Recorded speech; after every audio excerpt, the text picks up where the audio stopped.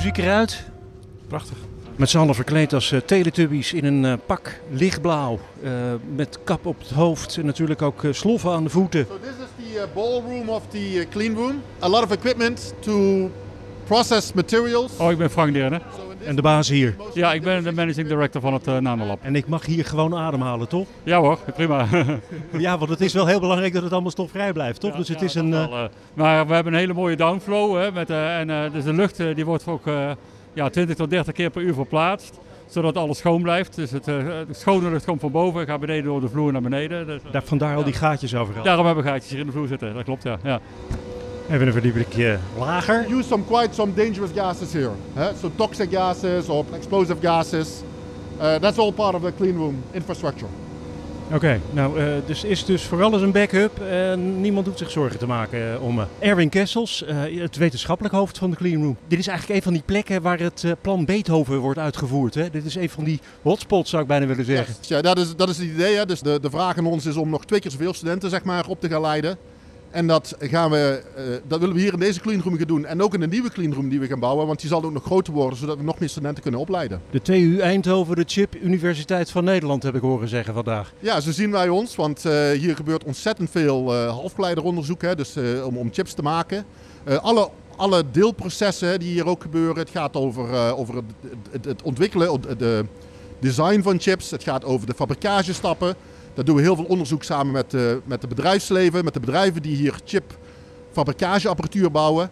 En vervolgens dan ook de echte chips maken. En dat, dat zijn er ook een aantal bedrijven hier in de buurt. En het is hier echt uh, high-tech waar je kijkt hoor. Maybe you can explain what you're doing right now. There is a tiny wire of superconducting tape, which is this tape. Like this. Into which we are feeding currents up to 200 amps. Bart Smolders, uh, hoogleraar ook. Ja, ik ben hoogleraar op het gebied van, uh, van, van draadloze communicatie. Dus wij ontwikkelen chips en antennes voor 6G, voor 5G. Nou weet ASML heel goed wat ze over drie jaar willen.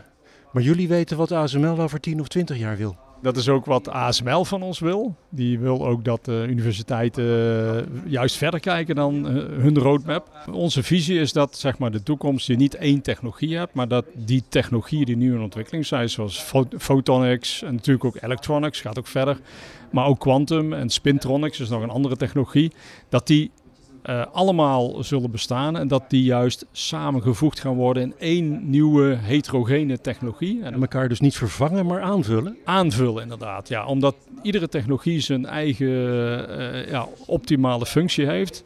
Uh, bijvoorbeeld uh, fotonica is heel goed in communiceren van hele grote hoeveelheden data op een hele energie-efficiënte manier.